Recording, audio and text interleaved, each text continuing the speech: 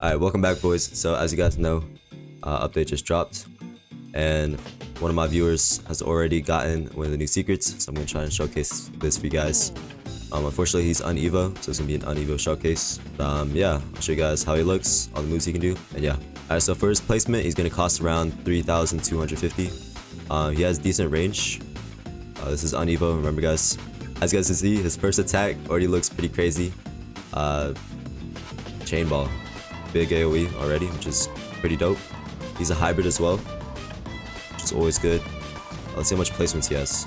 This new attack looks crazy though. You guys can get a better view of the first ability. Alright, let's see how much placements he can do. So he has a max placement cap of 2.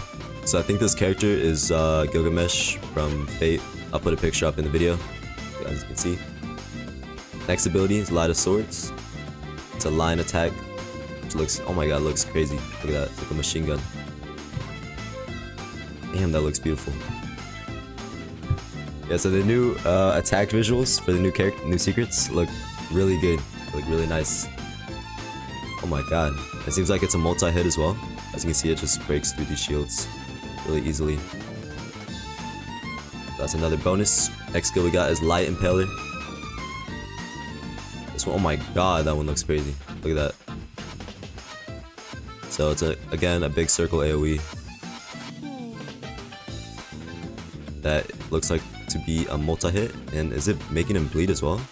Wow, it gives him bleed as well. So this guy does both bleed and crazy damage. Looks dope.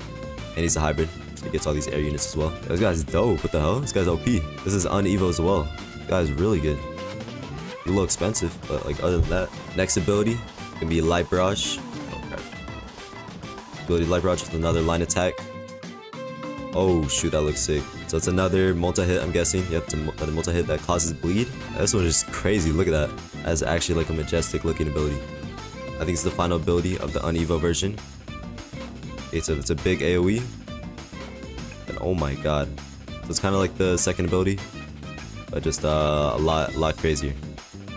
A lot larger uh, of a radius. And as you can see, it does bleed and it's multi-hit. So this guy's gonna be a really good um, bleed unit, that's for sure. Probably gonna be really good for leaderboard runs and all that, especially if you give him the Crimson Spirit. So he's maxed out.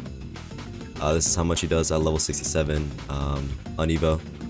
Obviously with better um, better stats and once you Evo him and at a higher level, it's gonna be doing, um, or I mean the stats are definitely gonna look a bit different. As you can see, uh, this unit definitely has some cool looking abilities and he's gonna be a meta bleed unit uh, most likely. So I'll definitely try and get him.